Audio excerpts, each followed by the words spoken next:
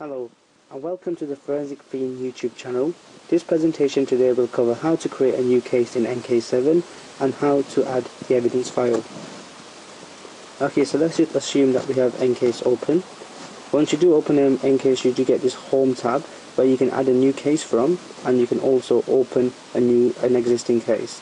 What we're going to do today is we're going to create a new case. So we click on new case. It brings up the case options tab here we can um, enter firstly the case name, which is the name you want to give to the file that you want where, it's going to, where the case is going to be stored. Okay. Then where it says full case path, you select the option at the end of it and you locate a location where you want to store the case.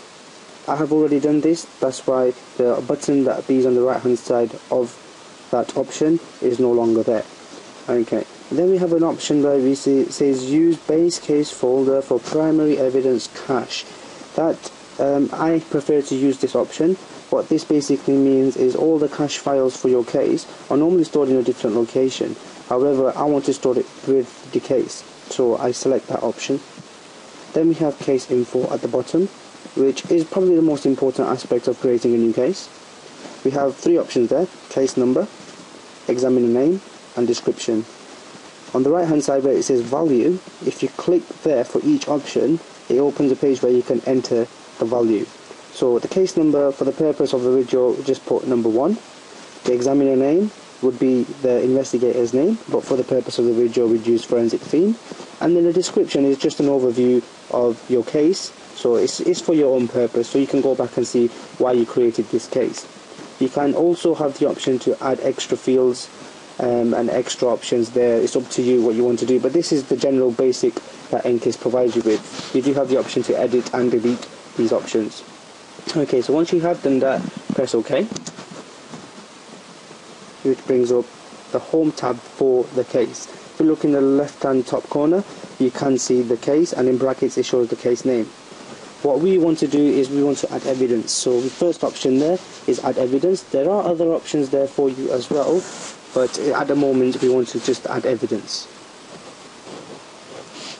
Okay, so when you do click on add evidence, you get these following options. You can add a local device, which is a file from your machine. You can add an evidence file, which is specifically formatted for EnCase. And you can add a raw image as well. EnCase also supports smartphone, and we do have an additional feature there called Add Crossover Preview. But for, for, for the investigation that I've carried out, we're going to use an evidence file. I've just listed a few formats, formats which is compatible with EnCase. The format I'm using is a VMDK file, and that's basically created through the use of a virtual machine. Okay, so you click on Add Evidence File, you locate your file, and then you open it. Once you do that, it brings up the Evidence tab, as you see in the top left, it's got the home, and at the moment we're on the evidence one. Here you can see your evidence, you can see the location of the evidence, and you can also see the status of the evidence. Currently the evidence is unprocessed. EnCase recommends you to process your evidence first before carrying out any further investigation. So there is a video on processing evidence which, which you can watch also.